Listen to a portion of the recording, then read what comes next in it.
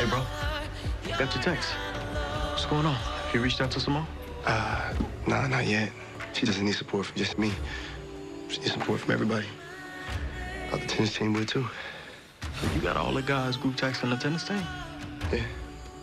Oh, that's genius.